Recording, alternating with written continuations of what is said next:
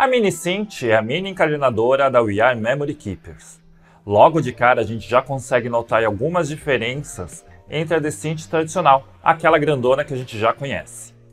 Além, claro, do peso e do tamanho, ela só faz furos contínuos. Nós não temos a opção de fazer furos alternados.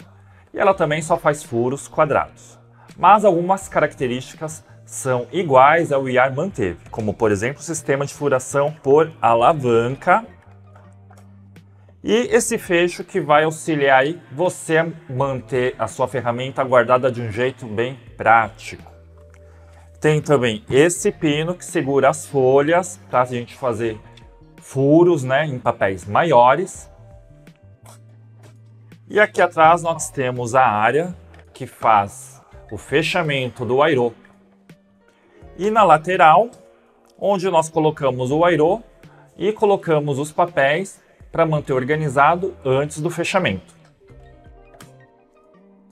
A Mini Cint faz furação em materiais de até 2 milímetros de espessura. Guarde bem essa informação que vai ser muito importante para você no futuro. E nós temos também esse guia de furação aqui, especial, que vai nos permitir sempre ter um alinhamento inicial correto, tá bom? Ele é muito importante, tanto é que a UIAR preparou aqui na ferramenta um lugar especial para você sempre manter guardado. Vamos ver como funciona? Vou colocar o guia de alinhamento aqui na base, na posição A, porque eu quero mostrar para vocês como a gente consegue furar um papel, digamos que grande, né? Esse daqui é um papel de 30,5, né? Papel de scrapbook. O que, que eu vou fazer?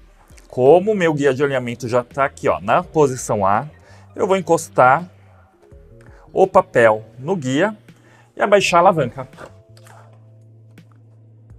Perfuração feita, eu vou guardar o guia de alinhamento e vou correr com o material para o lado. Mas eu vou voltar dois furos, sendo que o penúltimo eu vou baixar o pino aqui de segurança, o pino de alinhamento. Tudo correto, agora é só baixar a alavanca novamente e fazer os furos.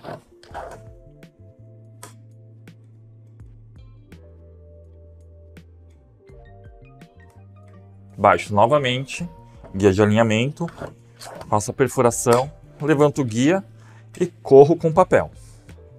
Volto dois furos e baixo o pino de segurança no penúltimo.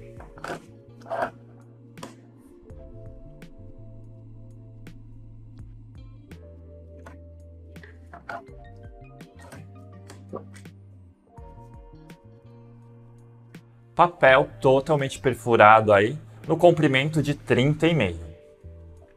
Mas existe uma outra maneira de fazer furação, que é o jeito que eu acho mais fácil, vou mostrar para vocês.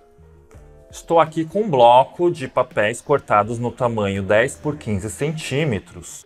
E para fazer a perfuração deles, vou usar uma outra maneira que não precisa do guia de alinhamento.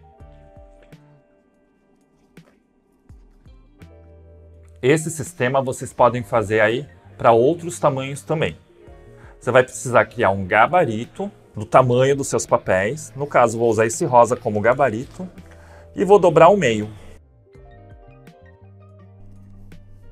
Se você não quiser dobrar, não tem problema nenhum. Você pode usar régua e lápis, achar o centro e passar um risco. Centro encontrado, você pode dobrar o papel ou pode usar somente um pedaço dele também.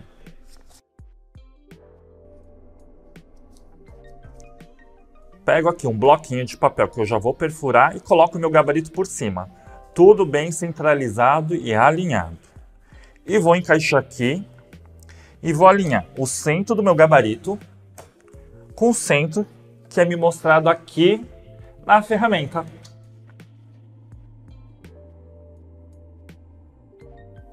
Centro do gabarito com o centro da ferramenta alinhado é só abaixar a alavanca.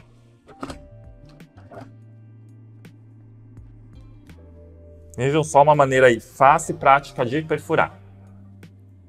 Já estou com tudo perfurado e agora vou dar outra dica para vocês. Caso eu queira fazer uma capa para esse bloco que seja maior do que a medida que eu já estou utilizando nele, eu vou fazer o mesmo procedimento. Vou pegar a capa, marcar o centro e alinhar com o meu gabarito.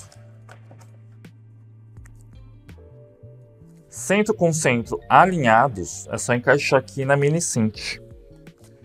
E alinhar com o centro do material que eu quero perfurar.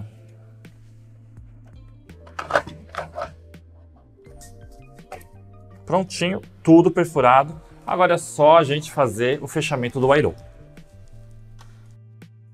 Com a Minicent a gente consegue usar um modelo de Wairo que seria o de 0.625 polegadas ou 1.58 centímetros. A WIAR tem essa linha de Wairo de diversas cores.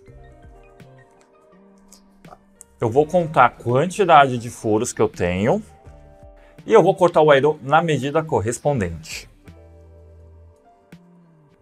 Então são seis furos, eu preciso de seis anéis. E com o auxílio de um alicate, eu corto aqui. O aerol cortado, eu vou posicionar aqui na lateral da ferramenta dessa maneira. Vou encaixar os papéis aqui nos anéis, retiro da ferramenta e vou encaixar aqui na parte de trás da minha mini cinch. Agora é só baixar aqui a alavanca e fazer o fechamento do airô. Então tinha um bloquinho encadernado, encadernação feita. E vocês aí como é fácil utilizar essa ferramenta.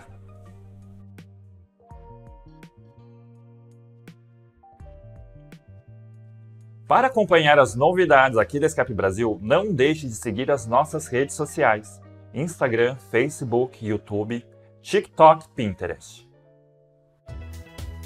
Scrap Brasil, o melhor do artesanato você encontra aqui.